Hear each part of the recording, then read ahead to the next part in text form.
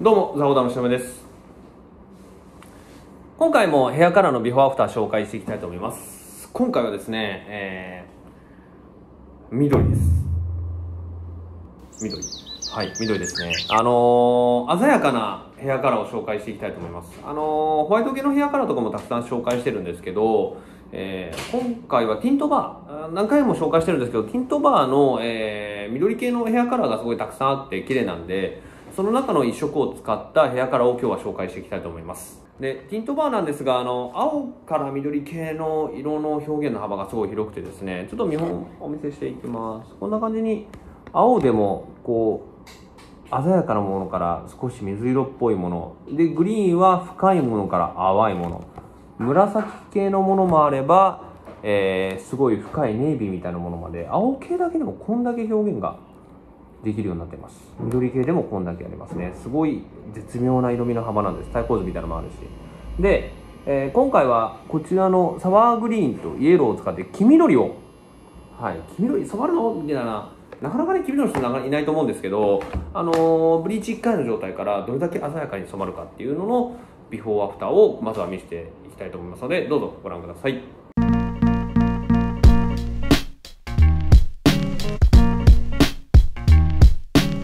いきます。今回はブリーチ全体化した状態から、えーカラーしていきます。根元はそのまま生かしたデザインカラーです。こちらが今回のカラー剤ですね。今回使用したのはティントバーのサワーグリーンとラジエントイエローになります。こちらを2対1でミックスした、えーカラーで塗っていきます。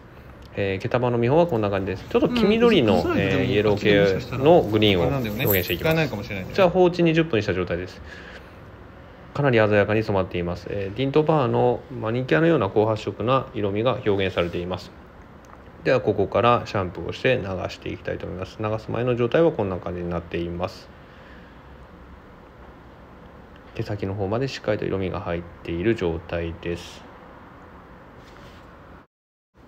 はい、では濡れた状態見ていきます。このような感じに鮮やかに染まっています。で、ここから乾かして仕上げていきたいと思います。やはりイエローを少し入れているので、グリーンはグリーンでも少し軽さのある、えーグリーン系のカラーに仕上がっています。ではこちらアフターです。こんな感じになりました。えー緑すぎない、えーイエローグリーンですね。えー軽さがあって光に当たるとこういう風に透明感が出ながら、え1回のブリーチでもこれだけ鮮やかな イエローグリーンに染まることができました。はい、いかがでしたでしょうか。こんな感じにあのカラー剤でもすごい鮮やかに染まります。で、カラー剤のメリットとしては、やはりあの根元伸びてきた部分も同時に染めれますし、なおかつあのマニキュアとかトリートメントカラーよりもやっぱ残留が少ないですね。残留っていうのは色残りが少ないんで、カラーチェンジがしやすいです。なので、あの緑やった後に、えまた色変えたいとかっていう場合も変えやすいのが特徴ですね。ちなみに今回のモデルさんは前回このオレンジって僕のインスタにも載ってますけどものすごいオレンジから今回黄緑にしましたのであんな感じに大胆なカラーチェンジも1ヶ月半ぐらいあればできちゃいます。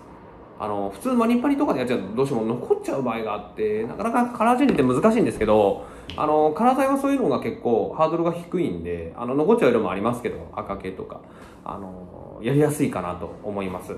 ですしやっぱりこう根元を少し残す残さないだけでもこういう鮮やか系のヘアカラーは似合わせがだいぶ変わっていくのもポイントですあの根元からあまりにもブリーチして鮮やかに過ぎてしまうといわゆるウィッグをかぶってるみたいな感じで影がなさすぎて肌なじみが悪いとかちょっと浮いて見えるっていうことがあるんですね。なんで今回はわざと根元の部分を少し染めずに染めずにっていうかブリーチをせずにえ染めていきました。それによって少し影を作りながらと肌のなじみを良くさせてあげて、え派手な色が浮きすぎないようにしてあります。特にこういう鮮やかなヘアカラーは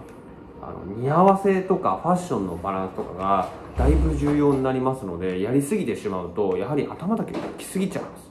なんでグラデーションにするとかハイライトにするとか、えーバリアージュとかでもいいんですけど少しこう自然な色の毛を残しながら、えーやってあげると結構ハードルが下がるのかなと。逆にすごい個性的にしたいとか結構派手な感じがいいとかっていう方は根元から一気にやっちゃうのもおすすめなんですけどあのちょっと初めてやる方とかはそういうちょっと少しあのナチュラルな感じに鮮やかな色を楽しむと、えー似合わせができていいかなと思います。はい。今日は以上になります。またよかったらいいねボタンとチャンネル登録ですね、えーまた高評価お願いします。はい。ではご視聴ありがとうございました。